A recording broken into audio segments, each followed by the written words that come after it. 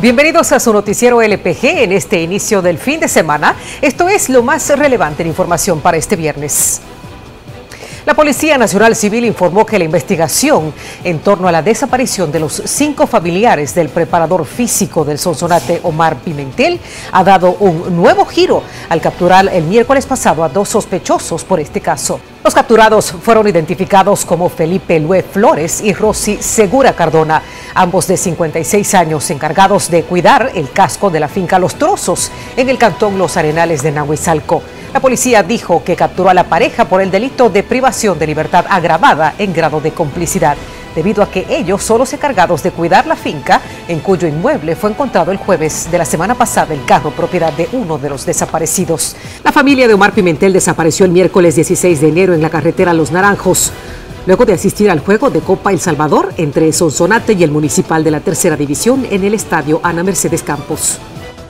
El Papa Francisco visitó este viernes la cárcel de menores de las Garzas de Pácora, en Panamá, donde quiso llevar la celebración de la Jornada Mundial de la Juventud a estos jóvenes privados de libertad, que fueron también peregrinos y a quienes animó a pelear por su reinserción. Si no fuera porque estaban rodeados de vallas y estrictas medidas de seguridad, los jóvenes a los que visitó el Papa serían peregrinos normales, como los que en estos días pasean por Panamá y que con sus cantos, sus regalos y su alegría protagonizaban cualquier acto de la JMJ.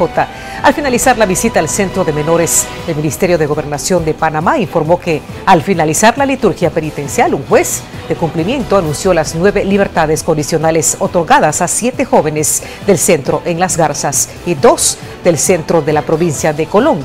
Esta medida fue gestionada con anticipación para hacer el anuncio durante la visita papal. Por la tarde, el sumo pontífice presidió el Via Crucis con los miles de jóvenes que participan en el evento más grande de fe para la juventud católica mundial.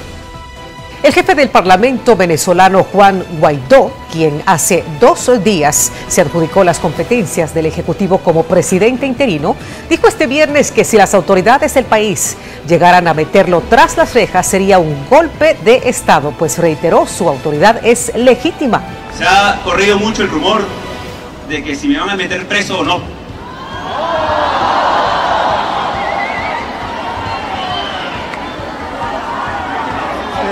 Yo estoy seguro que alguno de ustedes me podrá dar refugio en su casa. Golpe sería si me llevan. Eso es un golpe. Después de 35 días terminó el cierre parcial del gobierno de Estados Unidos. El presidente Donald Trump anunció que un acuerdo fue alcanzado con los demócratas sobre la reapertura y mantendrá el gobierno abierto por tres semanas. Veamos el reporte. El presidente Donald Trump anunció esta tarde el fin del cierre parcial del gobierno de Estados Unidos. El mandatario afirmó que se alcanzó un acuerdo con los demócratas para la inmediata reapertura de las actividades gubernamentales en todo el país y que 800.000 empleados federales que no recibieron el salario por un mes después de 35 días de cierre recibirán sus pagos retrasados. Estoy muy orgulloso de anunciar hoy que hemos llegado a un acuerdo para poner fin al cierre y reabrir el gobierno federal. Como todos saben, tengo una alternativa muy poderosa, pero no quería usarla en este momento.